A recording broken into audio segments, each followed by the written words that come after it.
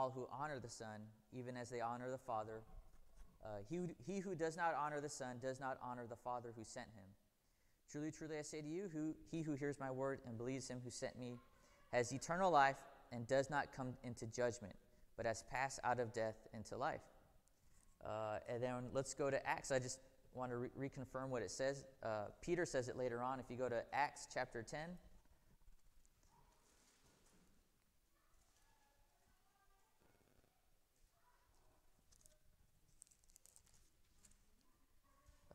verse 42. Acts chapter 10 at verse 42. All right, so here, uh, just to give you some context, uh, Peter, uh, Cornelius has, has this vision. He calls upon Peter. Peter shows up. Um, and Peter is kind of telling Cornelius and Cornelius and the people who are with Cornelius, like, hey, um, you guys are Gentiles. God has revealed to me that um, uh, that that Christ's message is not just for the Jews, but it's for the Gentiles also. Uh, but just here at verse 42, yep, verse 42, and he ordered us to preach to the people and solemnly to testify that this is the one who has been appointed by God as judge of the living and the dead. Of him, all the prophets bear witness that through his name, everyone who believes in him receives forgiveness of sins. And really, the, the, the point that I'm trying to tie back to Nehemiah is, is just showing Nehemiah's spiritual maturity um, in knowing that uh, uh, God will vindicate those who, who, who are against his people, uh, but we can also know that um, Christ is the perfect judge, um, and that we can we we should have that or have an understanding and have confidence in, in that same in that same promise um, that Christ is the perfect judge and God appointed him as the perfect judge. Uh, okay, all right. Uh, so that covers that part, and then we'll go in. Uh, I'll, I'll read verse 9 through, uh, I'll, I'll just carry out to the rest of Nehemiah of chapter 4. Uh, and then I'll talk a little bit about uh, what I read, and then we'll go into chapter 5. Uh, and for those, I'm reading the, the New American Standard Bible. Uh, so if, if it sounds a little funny, it's because I think they try to, word for word, what, what it says in Hebrew and Greek, they try to word for word pair it with, with English words. So sometimes when, when I read the, I, I have two Bibles that I use. I use this one, and then I use like a New Living Translation, which is kind of the same speech that we use today. Uh, but the NASB one, it, it, it tries to go word for word. So sometimes when you read stuff, I'm like, what is it trying to say? Because it doesn't make any sense. So I have to go look at another Bible and be like, all right, this is what it's trying to tell me. All right, so beginning at uh, verse 9 of chapter 4. But we prayed to our God, and because of them we set up a guard against them day and night. Thus in Judah it was said, The strength of the burden bearers is failing, yet there is so much rubbish, and we ourselves are unable to rebuild the wall. Our enemy said, They will not know or see until we come among them, kill them, and put a stop to the work. When the Jews who lived near them came and told us ten times, They will come up against us from every place where you may turn. Then I stationed men in the lowest parts of the space behind the wall, the exposed places, and I stationed the people and families with their swords, spears, and bows. When I saw their fear, I rose and spoke to the nobles and the officials and the rest of the people. Do not be afraid of them. Remember the Lord who is great and awesome, and fight for your brothers, your sons, your daughters, your wives, and your houses. When our enemies heard that it was known to us, and that God had frustrated their plan, then all of us returned to the wall, each one to his work. From that day on, half of my servants carried on the work, while half of them held the spears, the shields, the bows, and the breastplates, and the captains were behind the whole house of Judah. Those who were rebuilding the wall and those who carried burdens took their load with one hand doing the work and the other holding a weapon. As for the builders, each wore his sword girded at his side as he built, while the trumpeters stood near me. I said to the nobles, the officials, and the rest of the people, The work is great and extensive, and we are separated on the wall far from one another. At whatever place you hear the sound of the trumpet, rarely uh, rally to us there. Our God will fight for us. So we carried on the work with half of them holding spears from dawn until the stars appeared. At that time I also said to the people, Let each man with his servant spend the night within Jerusalem, so that they may be a guard for us by night and a laborer by day. So neither I, my brothers, my servants, nor the men of the guard who followed me, none of us removed our clothes. Each took his own weapon, even to the water. Um, so what we see here is is Sanballat and his and his crew, uh, the original people. I won't say the original, but the people who were living there when when Jerusalem was ransacked. Um, you know, their er, their initial uh, reaction to the Jews coming back and starting to rebuild is, you know, they kind of start making fun of them. But then they start seeing progress. Because if you remember, uh, I didn't read this portion, but in the beginning of chapter 4, they start building the wall about halfway up. And I think I, I did some research, and the average height of the wall was like 29 to, to 36 feet. So it's, it's pretty huge. Um, and the fact that they've gone halfway through, you can tell that they're starting to get worried. They're like, wait a minute, you know, they're making progress. Um, you know, we need to do something about it. We can't just make fun of them anymore. Um, and as you can see, they, they, their, their threats turn into acts of violence, or at least a, a, attempted acts of violence.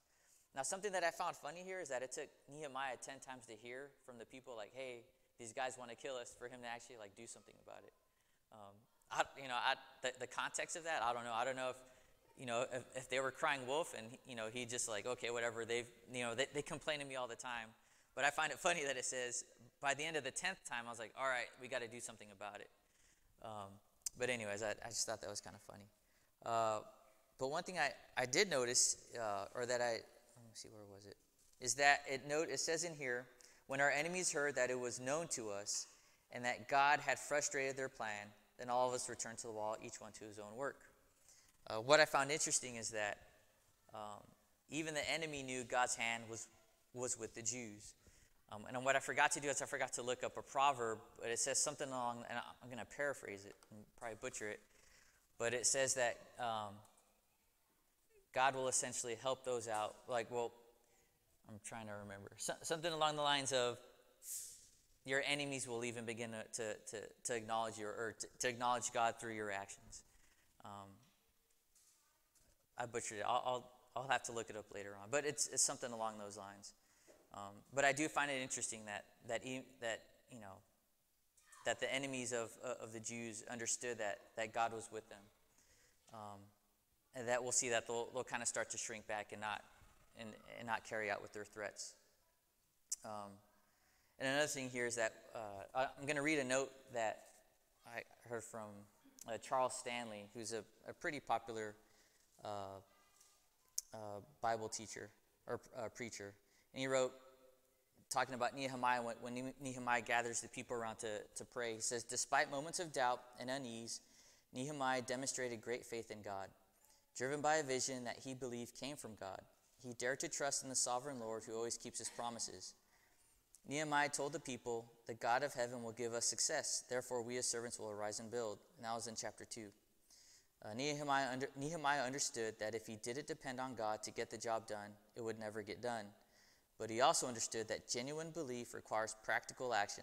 So he told his colleagues, Remember the Lord who is great and awesome, and fight for your brothers. Um, and I, when I was thinking, all right, you know, Nehemiah pretty much saying, you know, remember the Lord. Uh, because back in chapter 1, when, when Nehemiah is praying, when he first hears stories about, hey, Jerusalem was falling apart, uh, he quotes uh, from Scripture. And he paraphrased it here in chapter 1, if you go back to chapter 1 of verse, uh, verse 8. Uh, and it says, Remember the word which you commanded your servant Moses, saying, If you're unfaithful, I will scatter you among the peoples. But if you return to me and keep my commandments and do them, though those of you who have been scattered were in the most remote, remote parts of the heavens, I will gather them from there and will bring them to the place where I have chosen to cause my name to dwell. They are your servants and your people, whom you redeemed by your great power and by your strong hand. And again, that came from the same, uh, the same book of Deuteronomy, a little bit earlier than, than chapter 32. Uh, but Nehemiah is drawing on, on God's promise uh, that though he will scatter the, the, the, uh, the Jewish nation, that where they are gathered together, he will bring them back as long as they come back in, in true faith.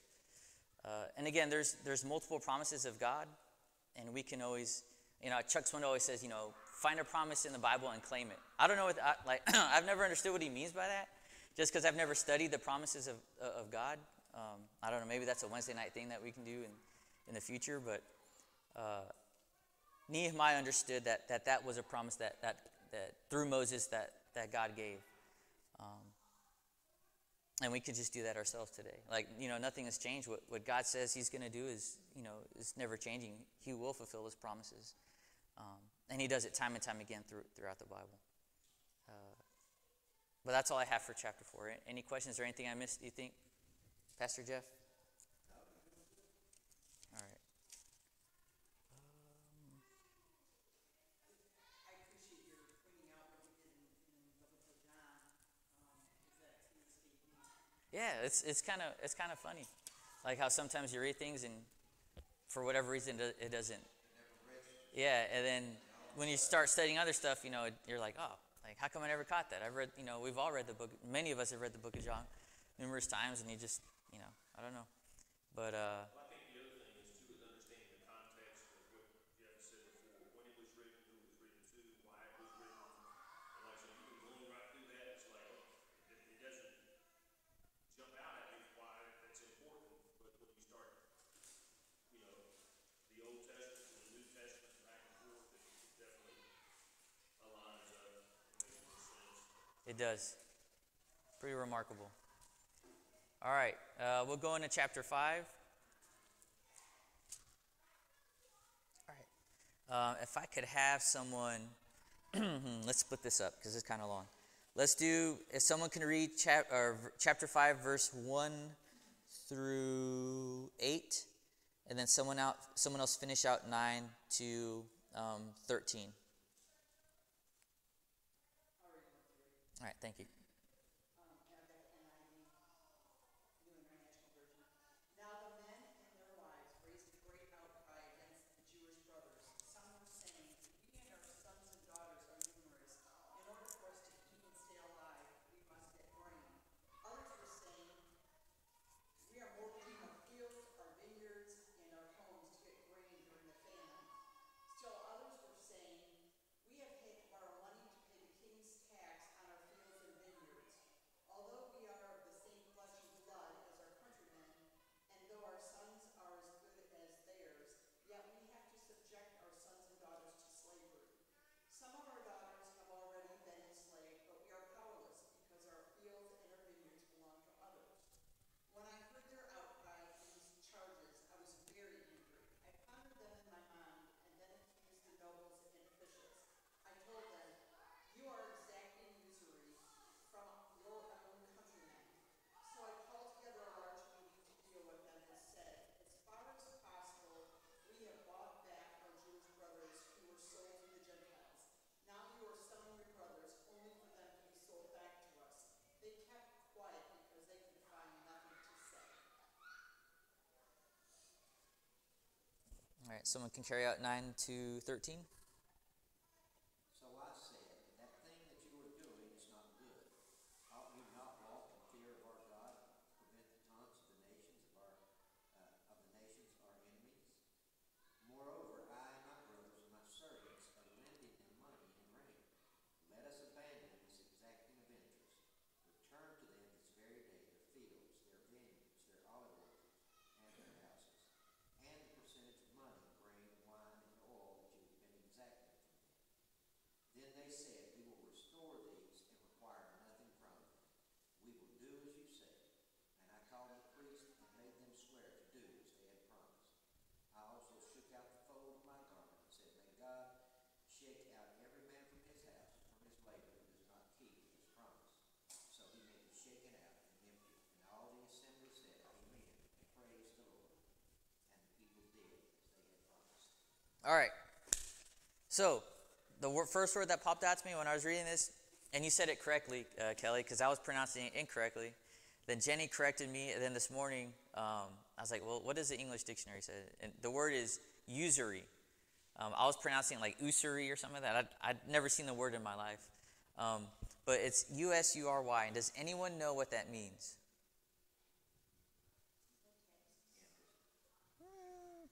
Too much interest. It's charging interest on a loan. Yes, that's what it is. I didn't know what it was either, so I had to look it up. But yes, what usury is is uh, uh, charging a large amount of interest on a loan. Um, and what it is is, so I wrote down the definitions. Uh, with the, I have a Bible encyclopedia, and it, it kind of gave it like this: sum of money charged for a loan. Old Testament laws prohibited a Jew from charging another Jew usury, but permitted it when money was loaned to a Gentile. Uh, although the word was, has negative connotations to it uh, today, it was not so in biblical days when usury simply was the interest charged for a loan. Excessive usury was condemned. So uh, when I was when I was reading, I was like, okay, well, well why is it bad uh, to have others in debt for you know like within their own people? I was like, oh, you know, a debt is a debt, and you you know, there's probably some interest charged to it. But the purpose that I, I thought was because God wanted God wants to separate Himself from others, and by doing that, He used the Jewish nation essentially to show that to the world, to say, hey, these are my people, and these are the laws that I have enacted. So if you so I'll go to it for this time, but we have a, a, other verses that we'll get to. I'm going to read where that started from, and again, it's in Deuteronomy, uh, chapter 23.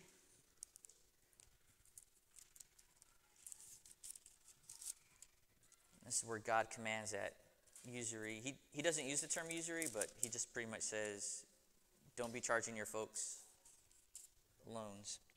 All right, you shall not charge interest to your countrymen interest on money, food, or anything that may be loaned at interest. You may charge interest to a foreigner, but to your countrymen you shall not charge interest, so that the Lord your God may bless you in all that you undertake in the land which you are about to enter to possess. So again, God was was really trying to show a perfect kingdom through through the through the Israelites, through through the Jewish nation. Um, and how, how you know how bad it would have looked if, if his own people were charging each other like ex- exorbitant amount of prices and enslaving their own people because now you know this person really couldn't pay off their debt anymore so now you know they didn't look they didn't look any different from from the world um, and again god wants us to, god wants to separate himself from others uh, if we can go to deuteronomy chapter 7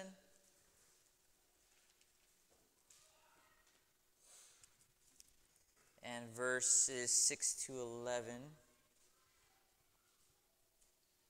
And I just, what I wanted to do is as I started wondering, okay, God wants to separate the Israelite nation from the others, I started pulling up just uh, points of scripture where God verbally says that.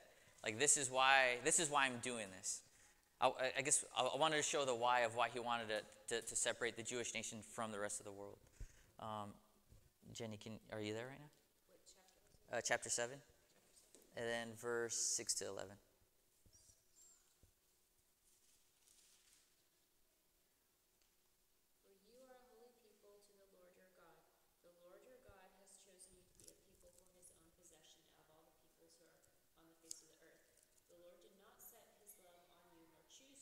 you're more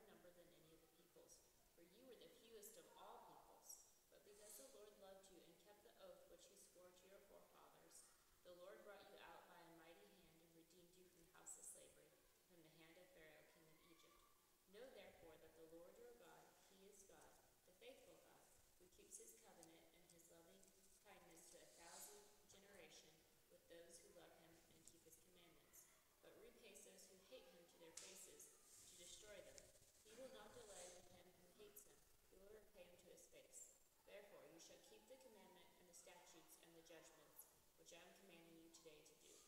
Thanks, babe. So, again, nothing special that, that, that the Israelites did or the Jewish nation did. N- nothing special about them, right? They weren't the, the, they weren't the biggest. They weren't the most handsomest.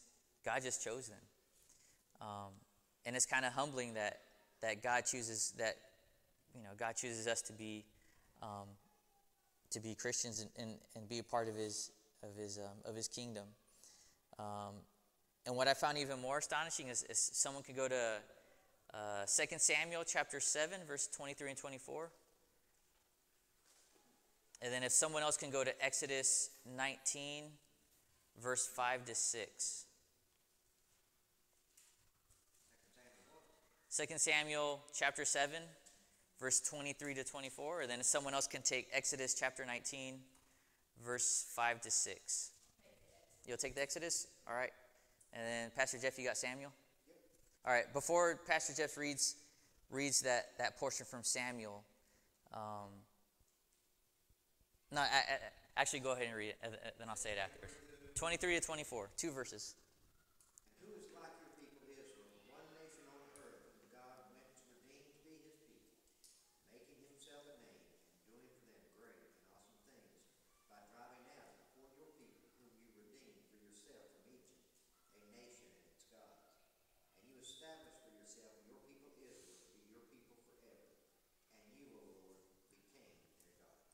All right, so right there in verse 23 where it says, Himself as a people to make a name for Himself. So that's, that's the purpose of the Jewish nation, is for God to make a name for Himself, for the people outside to see the, the, the Jewish nation blessed because they, you know, they follow God's commandments. You know, they're, they're supposed to be a nation set apart. Um, and what I was going to say uh, about David, I was telling Jenny this morning, is that, you know, there's, uh, b- before Jenny and I even got married, I already had three, three names for boys picked out. And the first one was David. Uh, and that's because when I was a, you know, I became a Christian I was 16 years old. Um, and, uh, you know, I started reading through the Bible. And, like, the first character of the Bible that, that I really, really enjoyed was, was David. Um, you know, he was just kind of a wild man. Uh, he was, you know, a man after God's own heart.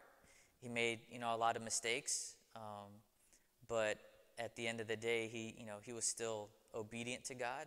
Um, and I just kind of thought that was kind of, you know, admirable. Um, and, and, and how human David is. He, he's, you know, he's, like, he's, he's no different than any of us in this room. Joshua, Joseph. Yeah. So those are the three names that I had picked out. And then, you know, with Lily, uh, well, I won't get into that, but we got her name from Matthew, from uh, chapter 6 in Matthew, the lilies of the field. Uh, but, anyways, uh, you know, just uh, with David, how, how human he is, uh, but yet, you know, w- when he writes the Psalms, you probably didn't even know, but a lot of those Psalms were, you know, are prophetic. Um, but then, you know, you read this, this in this chapter, chapter 7 of Samuel, then two chapters later, he has the affair with Bathsheba. So uh, it's just, you know, again, it just shows how human he is, but, but yet God still, you know, still loves people like him, people like us. Um, anyways. All right, and then Exodus, uh, Ellen, please. Uh, 5 to 6, please. Now therefore, if you will indeed obey my voice and keep my covenant, you shall be my treasured possession among all peoples with perfect mind. And you shall be to me a kingdom of priests and a holy nation. These are the words that you shall speak to the people of Israel. So again, through Moses showing, hey, this is the purpose of Israel, right? To be a kingdom, a kingdom of priests. When I read that this morning, I was like, you know, what? You know, that's kind of funny. Like, well, we're supposed to be a kingdom of priests because I, you know, grew up at the Catholic Church. I have a different view set of priests. Um, but, uh, but so I looked up priest. Like, what exactly is a priest? In my own words, I wrote, priest equals in charge of sacrifices and offerings, and a mediator uh, for God, right? And that was what through you know through through the Levites, through through the line of Aaron. Um, and then I realized, you know, Jesus is always, you know, Jesus is the high priest. So I looked up two verses um, talking about Jesus as the high priest. And if someone could go to Hebrews chapter 9, a lot of Bible drills today, guys. Hebrews chapter 9. Clyde, can you take Hebrews chapter 9? Uh, verse 11 and 15. And then um, if someone can take 1 Peter chapter 2. And we'll do verse 5 to 12.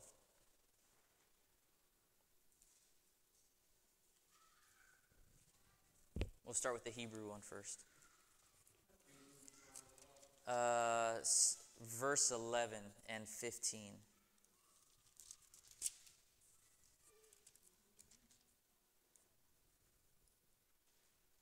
For Christ came as a high priest of the good things to come, with the greater and more perfect tabernacle not made with hands, that is, not of this creation. Not with the blood of goat- goats and calves, but with his own blood he entered the most holy place of all, once for all, having obtained eternal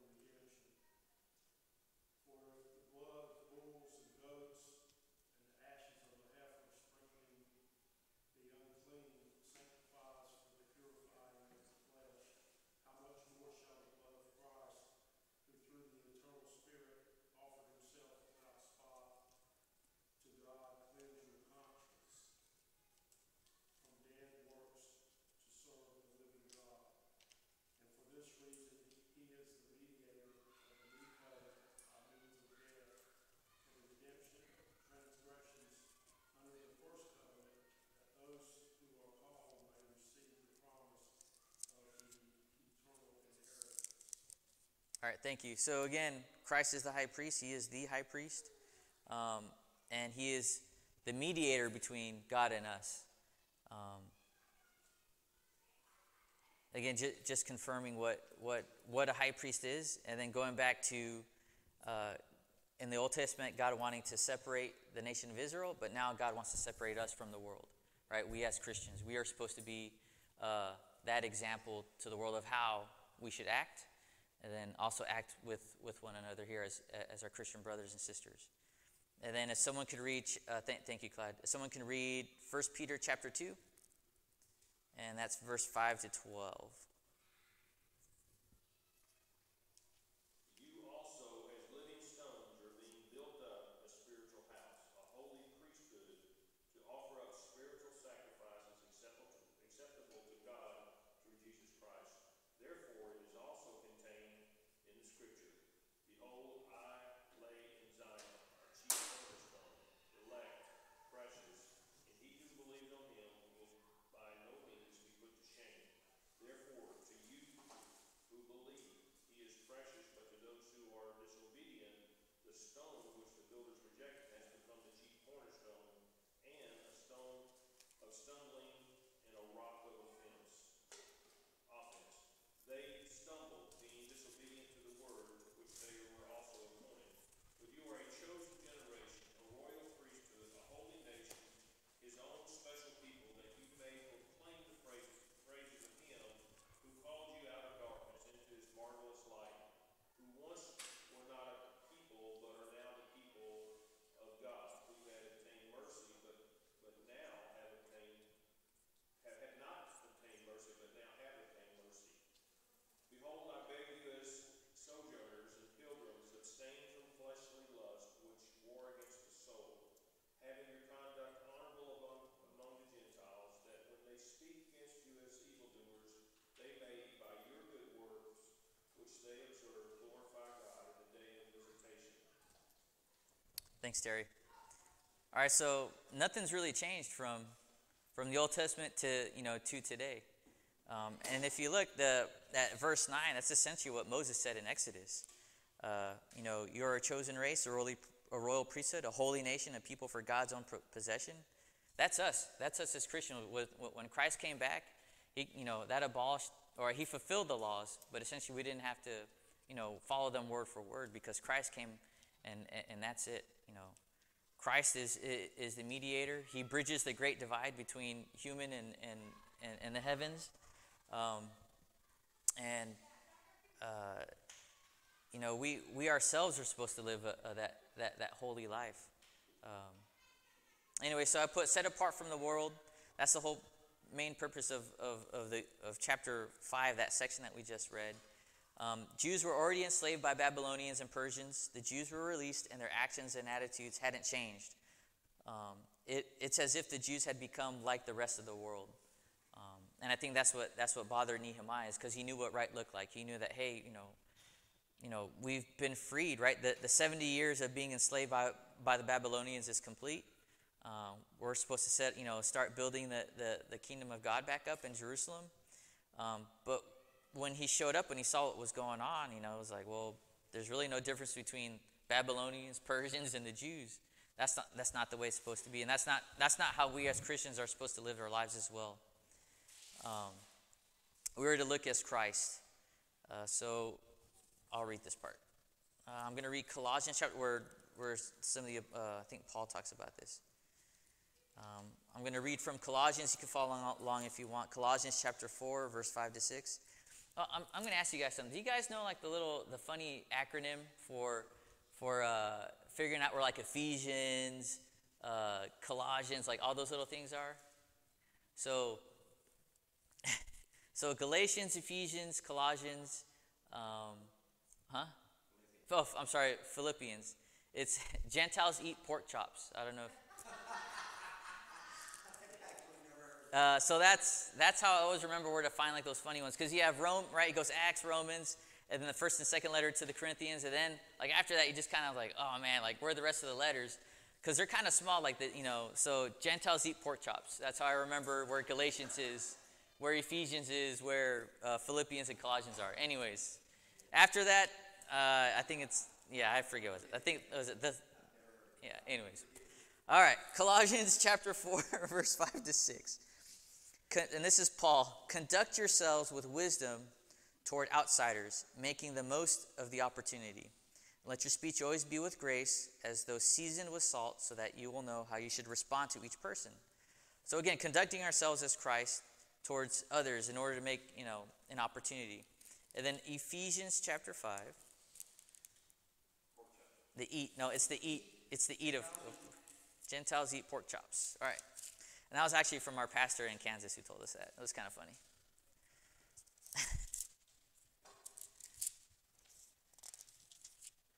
All right, verse 1 through 4. Therefore, be imitators of God as beloved children, and walk in love just as Christ also loved you and gave himself up for us, an offering and a sacrifice to God as a fragrant aroma. But immorality or any impurity or greed must not even be named among you, as is uh, proper among saints. And there must be no filthiness and silly talk or co- coarse jesting, which I struggle with, which are not fitting, but rather a giving of thanks. For this you know with certainty that no immoral or impure person or covetous man who is an idolater has an inheritance in the kingdom of Christ and God.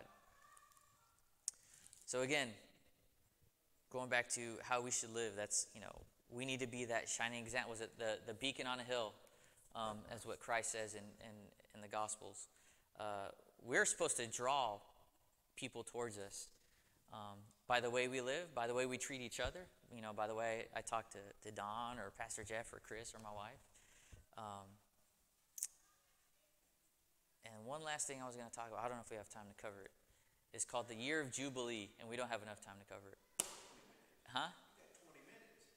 Oh, I mean, I, I'm going to want to get some water and kind of. Uh, yeah, take a break. Um, year Jubilee.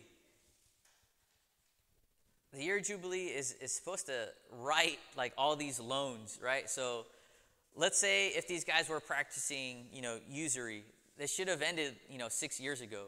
And from, from what I read in the scripture, I don't think the Jewish nation ever practiced the year of Jubilee. I never saw it. So if you guys don't know what the year of Jubilee is, let's let's look at Leviticus chapter 25. And I'll explain to you why why this, you know, there's a reason for, for its importance. It's so that the people wouldn't they wouldn't enslave their own people. Like uh, there was a law that or a, a celebration that God enacted in order to prevent, you know, the, the Jewish nation from from enslaving themselves. And as I started, you know, looking into this, I was like, man, I don't know if, you know, because you have the Feast of Booths, you have all these other feasts going on, right? Feast of Unleavened Bread. But then there's this year of Jubilee that's that's kind of sticks out there, but no one ever practices it because it's really of it's of no benefit to the well, it's of I say no benefit of the Jewish people, but it it it is a benefit, um, and I think it's just because people just get greedy. I think that's what it is. Um, man, I, it's a long chapter to read. I'll, I'll start reading a, a little bit of it. All right, so beginning at verse 1. The Lord then spoke to Moses at Mount Sinai, saying, Speak to the sons of Israel, and say to them, When ye come into the land which I shall give you, then the land shall have a Sabbath to the Lord. Six years you shall sow your field, and six years you shall prune your vineyard and gather in its crop.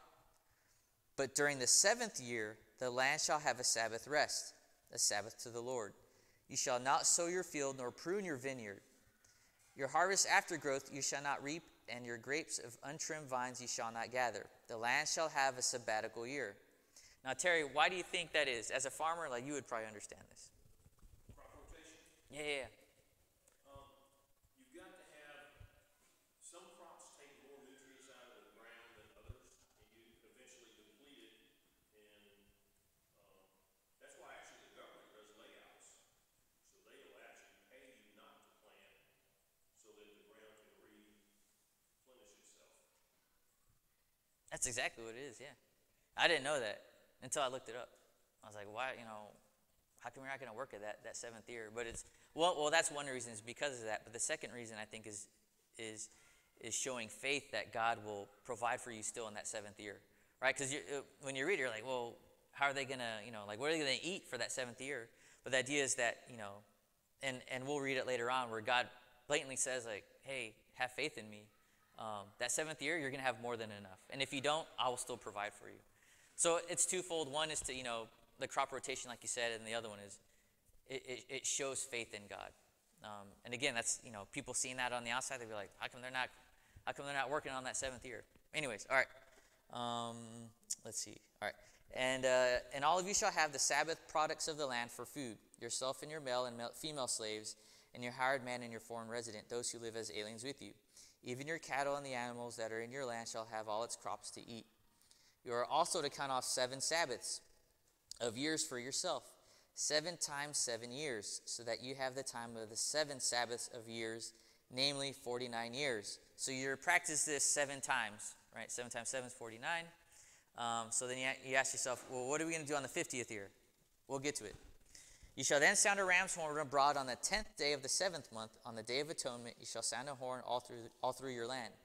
You shall thus consecrate the fiftieth year and proclaim a release through the land to all its inhabitants. It shall be a jubilee for you, and each of you shall return to his own property, and each of you shall return to his family.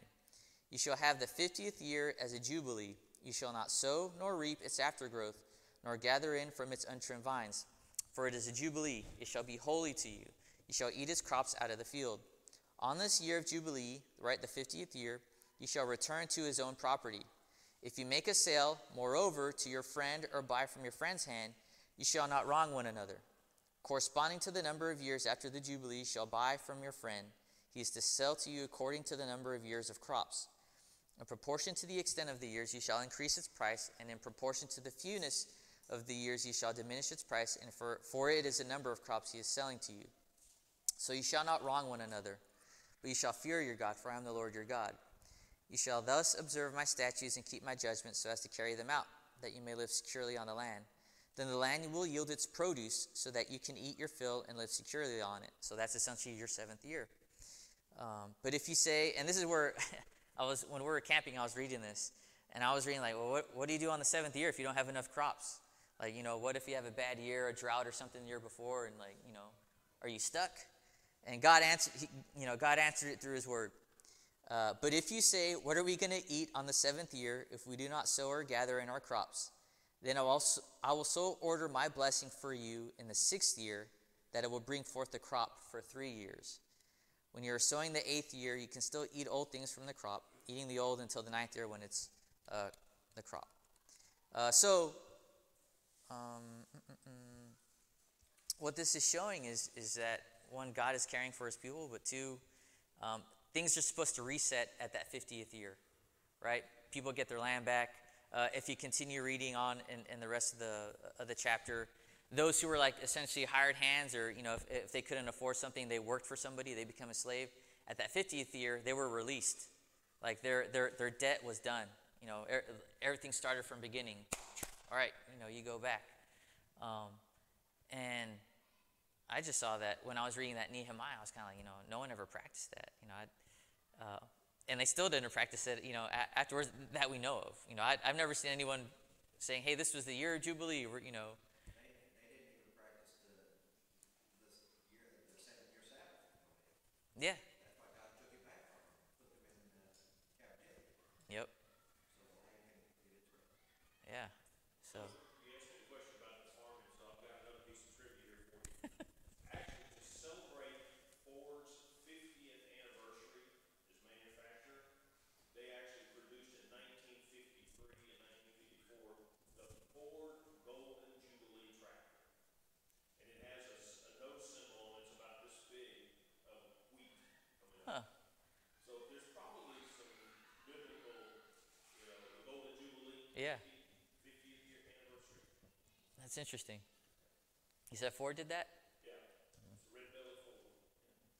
Interesting. Well, uh, that's pretty much all I have. To, I mean, we, can finish out the rest of chapter five. Um, eh, and the, the only thing that I that I got from 14 through through 19 that if we'll have someone if someone can read that for us, but um, it just shows the, the the kind of man that Nehemiah was.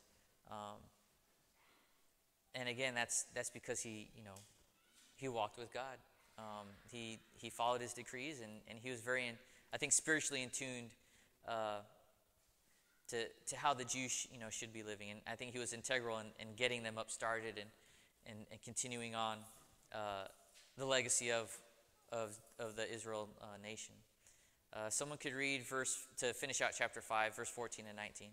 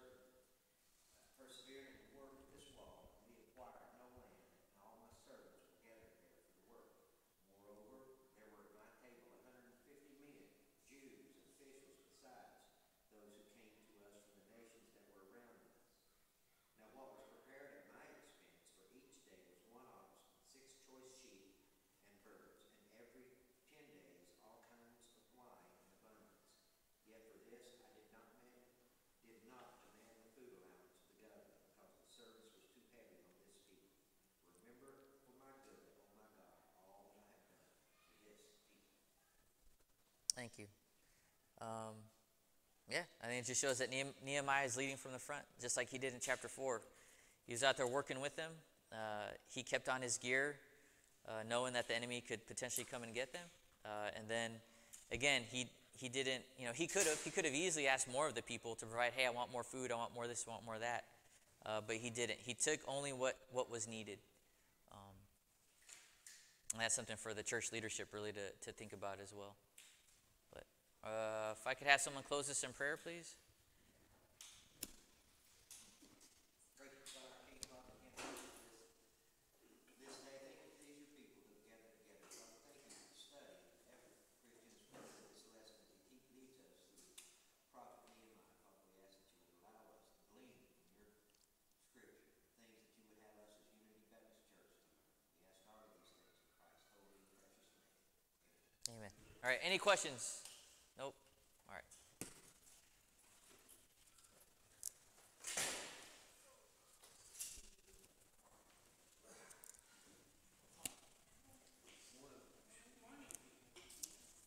Clyde, you have the, the offertory prayer today.